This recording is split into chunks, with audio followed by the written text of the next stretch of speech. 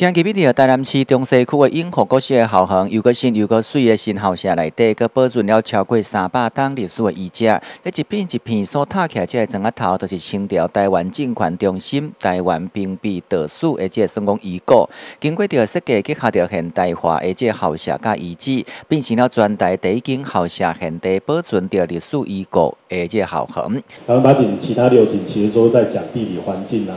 等等的，但其中有两个。是在讲这边有一个辉有一个非常辉煌的建筑，这两个地方恰好其实就是我们今天的永福国小。哦，我们其实透过二零一八年的一个契机，我们重新看见了它，然后也在刘木贤建筑师哦的协助之下，那跟很多人协助学校啦，哈，然后中央文字局等等的，哦，那让呃这呃这个能够印证台湾曾经两百多年的行政中枢的永福国小台湾倒数可以被保留下来。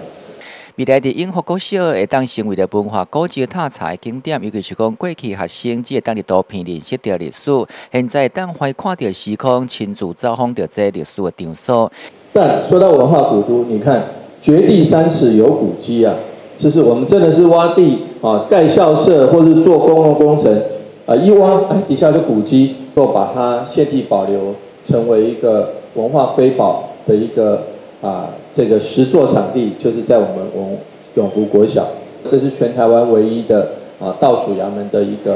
啊这个啊古迹现场，至少我们成为我们台南市各学校校外教学的一个很重要的一个教学点之一。大型的挖土工具，我们就会使用圆锹，就是有尖的还有平的。然后小型的清洁工具，我们会使用小平铲。然后另外我们在用标杆尺还有相机